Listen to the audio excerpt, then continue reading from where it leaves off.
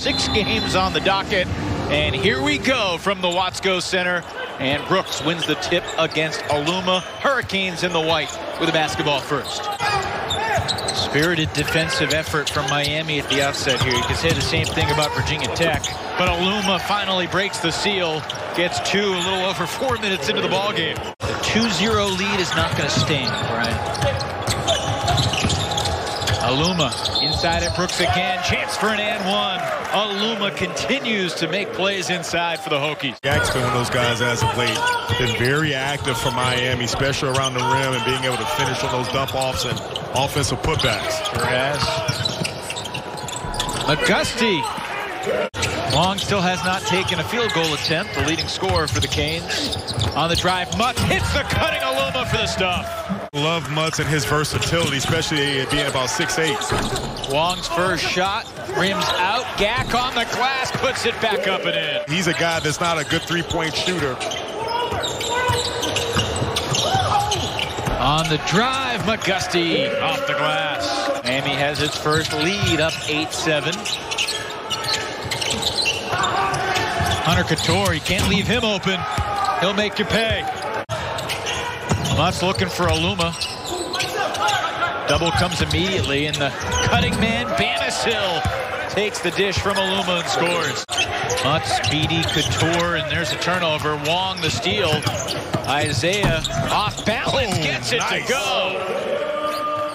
Uh, with no Chris Lykes for most of the season, has been able to be not only a shot maker, but the leader for, for Miami and coming up with defensive plays, too. Bamisile off the catch. I go after Corey Alexander you today? No, calm, calm down.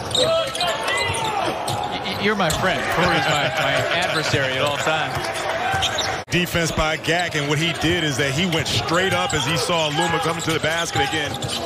His length has been really big. You see Cameron McGusty being able to fill it up. Emmy has decided that they're going to make sure that they have a second defender to help out. Beverly on the drive, gets it to go after it dead end off the bracket. All movement back and forth that last time you were able to see penetration by Beverly in the finish. Third lead change of the half. Um, Mutt saw a lane and takes it for two. A guy can score down low, and I like the fact there's a big guy can definitely read the defense and, and make the good pass, too. Cam McGusty buries a three. He's in a double figures with 11 has to get not get caught reaching for the ball. Cattoor, better shooter than he is a defender, and he buries his second three. You know, it's hard to develop chemistry, but when you look at the chemistry between Mutts and Aluma, you can tell that those are two guys that play well off each other. You see the high-low action.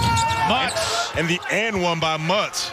Is a path for him to return present potentially this week which is big news for Virginia Tech. Elijah Olaniyi goes baseline to the bucket. They get to a place and it may not be a particular fit, fit yeah. and take an opportunity to see nice Another move. transfer, Nysier Brooks, the former Bearcat, floats it in. Pushing Aluma off the box, and then they're shading him with another defender, realizing that they'll go ahead and double off of Bede.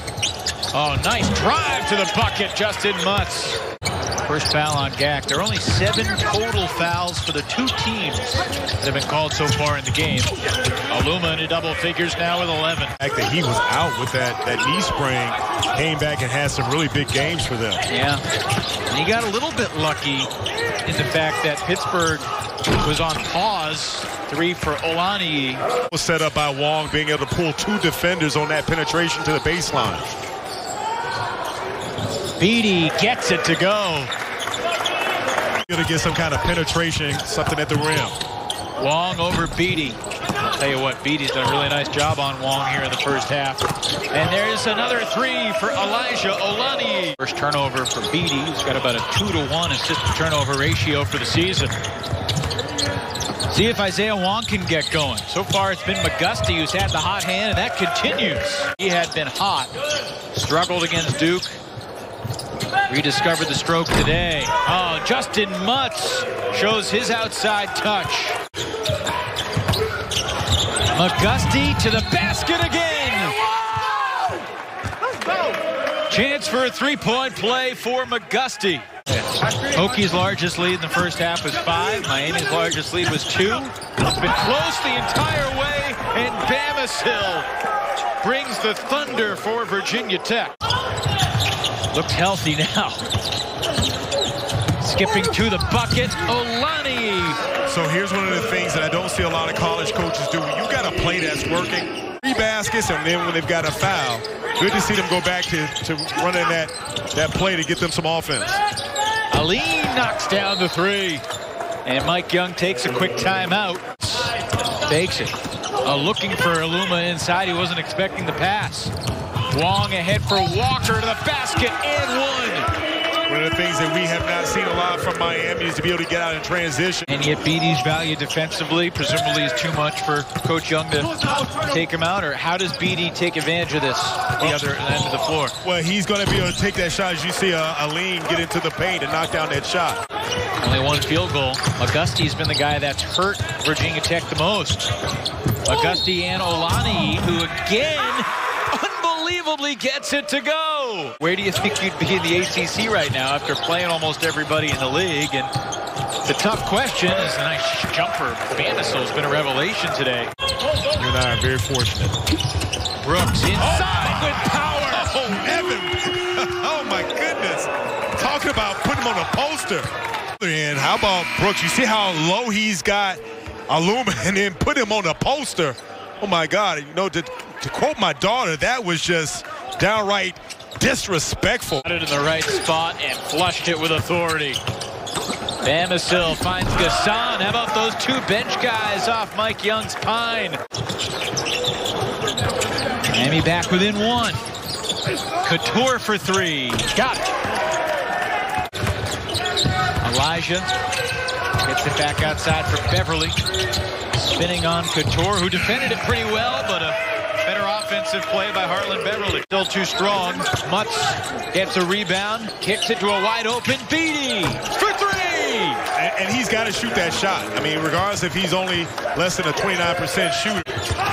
Oh, great defense there. Bamisile picks the pocket of Brooks, keeps his balance, takes it all the way to the cup. And how about Bamisile? We talked about the fact that the guys have got to pick it up for Virginia Tech. Back to Bamisile. Was a big-time scorer in high school, 28 a game as a junior before he was hurt as a senior. Justyn Mutts. Wasting too much time. You don't want your big guy dribbling around the free throw line. A great pass. Bamisile finding Mutts for another easy two. Nice dime. Good movement by uh, Mutts. 62%, excuse me, 72% from the line. Four or five today. ACC Player of the Year back in 2013. Aluma makes them both. Isaiah trying to create for himself. Now down to two. Has to launch. Not even close. And that's a shot clock violation. 26.2. He's got two at the line with his team trailing by one. And remember, Miami does not have a timeout. And Bamisile as well. You want to make sure that you block out. For the lead, no. Miami can look for the final shot to win it. Ahead, it's McGusty with five. Back to Wong. He'll shoot the three. Good! With two seconds to go. Timeout called. To get the ball back over there. Right there, I thought he could have gone in and penetrate. Opted to give it to Wong. And then how about Wong with the 30-footer pulling it up? Money from behind the arc. Oh, my God. You see the play again. Walking into it. Late recovery by Aluma, not wanting to foul. Isaiah Wong coming up with a dagger. Point one on the clock. Hokies need a three. Bede gets it in. Cattoor, a good look. Ties it! And we're going oh! overtime on the three from oh Hunter minutes on the clock. And you see the good good play by Aluma setting up Hunter Cattoor. Alani Heat late. Hunter Cattoor stepping up and knock down that three. Mutts backing down Walker. No call. Mutts gets two. Nice patient by Justyn Mutts. And you saw Walker. Mutts has been that guy that's been able to get inside at will. Open man's Bede. He'll take it. Walker taking it at Mutts to the basket. No. Battle for the board. Still free. And it is Virginia Tech basketball. Hunter Cattoor running the offense to the elbow. It's Mutts. Give off to Alleyne. Little teardrop for two. Nice shot being able to get Alleyne to his left hand. Wong making a move with 10. Kicks it. Olaniyi steps inside the arc on the runner. No, it's an offensive foul. You've got the easier job, just to give your opinions without much ramification. Absolutely. Well, there's a lot of ramification. I'm going to hear from my wife. One and one here. Makes the first. Miami does have a timeout. If Cattoor makes this one at Miami, you want a quick two. Well, it's a two-possession game.